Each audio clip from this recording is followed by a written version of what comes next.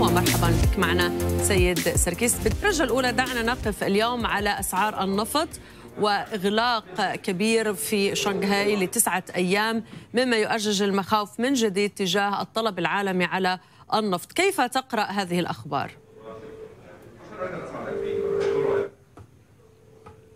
نهاركم سعيد. بالفعل تفاجأنا في إغلاقات جديدة حصلت في الصين ويجب أن نعلم بأن الصين تعتبر ثاني أكبر مستهلك للنفط في العالم باستهلاك يومي يقدر ب 12.7 مليون برميل بشكل يومي. لأن هذه الأنباء دفعت أسعار النفط للانخفاض فنلاحظ انخفاض عقود النفط الأمريكي بنحو 4% 3% لعقود أيضا برنت لكن يجب النظر إلى تحركات أسعار النفط على مدى هذا الشهر.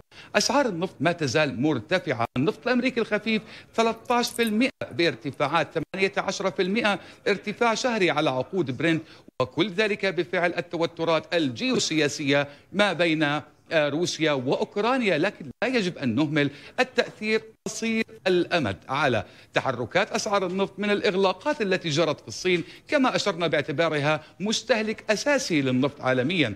فهذه الإغلاقات قد تخفض الطلب العالمي على النفط بشكل ملموس لكن هذا التأثير قد لا يمتد على الأنظمة الزمنية متوسطة وطويلة الأمد بل سيقتصر على على الأرجح على الأنظمة الزمنية قصيرة الأمد. السبب في ذلك إلى أن الأزمة بين روسيا وأوكرانيا لا تقتصر فقط على النفط الروسي بل أيضا تمتد إلى سلاسل التوريد والإمدادات وهذا ما يزيد الأمر صعوبة في أسواق الطاقة حتى أن الدول التي قد تكون إذا اجتمعت معا قادرة على تعويض الصادرات الروسية لكن أيضا هذه الصادرات قد لا تصل إلى سلاسل التوريد في الوقت المناسب مما قد يبقي على الاتجاهات الصاعدة الإجمالية في أسعار النفط. لكن كما أشرنا على المدى القصير يجب أن نأخذ بعين الاعتبار أن لو ظهر بالفعل بأن هنالك انخفاض بالطلب العالمي بفعل الإغلاقات التي اتخذتها الصين فهنا لا يجب أن نستبعد المزيد من التصحيحات الهابطة في أسعار النفط. يشمل العقود بالنسبة لبرنت وأيضا النفط الأمريكي الخفيف لكن على المدى الأبعد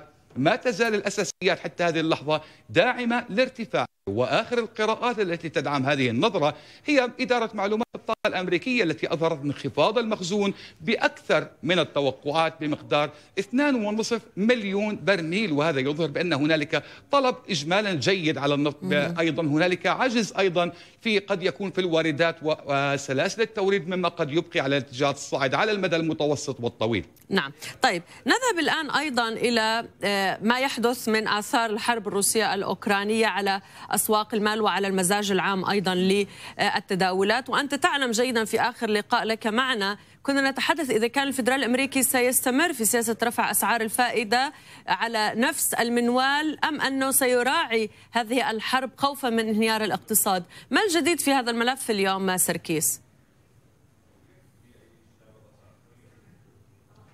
الآن عندما ننظر إلى الأسواق المالية برز تساؤل جديد هو هل يجب على الفدرالي أن يتبع ما تريده الأسواق أم يجب أن تتأثر الأسواق في توجهات الفدرالي الأمريكي؟ الآن الأسواق المالية تتوقع رفع عنيف وكبير بالفائدة طوال هذه السنة وقد نشهد رفع بالفائدة بخمسين نقطة أساس خلال الاجتماعات المقبلة حتى أن التوقعات تشير بحسب CME Group إلى احتمال أن تصل الفائدة مع نهاية هذه السنة في اجتماع الرابع عشر من ديسمبر. آه نهاية هذه السنة إلى مستويات بين 2.5 إلى 2.75% بنسبة احتمال 38% بل أن هنالك احتمال 30% أن تصل الفائدة إلى 2.75 إلى 3% نلاحظ هنا بأن الأسواق المالية تطلب من الفيدرالي الاستعجال برفع الفائدة. التضخم وصل مستويات خطيرة جدا. أزمة روسيا وأوكرانيا أثرت على الأسعار بطريقة مباشرة مؤشر أسعار المستهلكين 7.9% لم نشهد هذه المستويات من التضخم منذ 40 عاما. هنا يخشى من أن يقع الاقتصاد الأمريكي في ركود تضخمي وبالتالي الأسواق المالية الآن أصبحت ترى بأن الفدرال الأمريكي يجب بالضرورة أن يضحي في النمو الاقتصادي حتى لو شهدنا انكماش مؤقت في سبيل خفض التضخم لأن دخول حالة الركود الاقتصادي التضخمي حالة قد يعاني منها الفدرالي الأمريكي والحكومة الأمريكية وحتى لا نصل إلى هذه الحالة مع الارتفاع الأخير الذي سجل في التضخم. فيبدو بأن الفدرالي يجب أن يتخذ هذه الخطوات مما جعل الأسواق تتوقع هذا الرفع بالفائده لكن باعتقادي إذا أردنا النظر إلى المنطق مستويات فائدة حول 2% 2.4% قد تكون كافية برفع ربما نبدأ برفع فائدة 50 نقطة أساس ثم تتبعها رفعات أخرى بالفائدة. لكن أيضا يجب أن تكون بشكل متأني لكن في النهاية يجب أن ننظر إلى معدلات التضخم وكيف ستتجاوب مع رفع الفائدة لأنه إذا لم تتجاوب بشكل سريع فقد يجبر الفدرالي على اتخاذ خطوات خطيرة على النمو الاقتصادي في سبيل خفض معدلات التضخم. نعم. طب وننتقل أيضا إلى سوق العملات.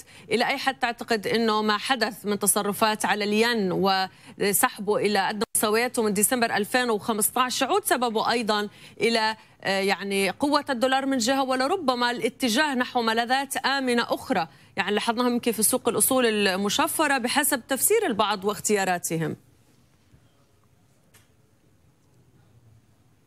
آه، بالفعل آه، هنالك أمور واضحة جدا في أسواق السندات توضح لنا توقعات الفائدة بالفدرالي الأمريكي وكذلك في بنك اليابان المركزي. الفرق بين عوائد سندات آه، الحكومة أمد استحقاق عشر سنوات على سبيل المثال الحصر وصلت إلى 226 نقطة أساس لصالح السندات الأمريكية. هذا يظهر مدى الفروقات الهائلة في آه، عوائد السندات اليابانية مع الأمريكية. وهذا أيضا يوضح توقعات الأسواق بأن البنك المركزي الياباني ربما لن يجرؤ على رفع الفائدة. إذا أخذنا الحقائق الاقتصادية الاقتصاد الياباني تباطأ نموه خلال 2021 إلى 0.7% التضخم في اليابان 0.9% فأمام بنك اليابان المركزي متسع من الوقت لإبقاء سياساته التحفيزية. أما الفدرالي الأمريكي النمو حوالي 5.6% خلال 2021 معدلات تضخم 7.9% وهذا ما قد يجبر الفدرالي على اتخاذ خطوات رفع الفائدة وبالنهاية اختلاف كلي حتى هذه اللحظة ما بين بنك اليابان المركزي والفدرالي الأمريكي يدفع المتداولين إلى الدولار الأمريكي على حساب الين الياباني حتى إن عم نشهد انخفاض الين الياباني مقابل الجنيه الاسترليني مستويات أكثر من 160 ين للجنيه الاسترليني الواحد.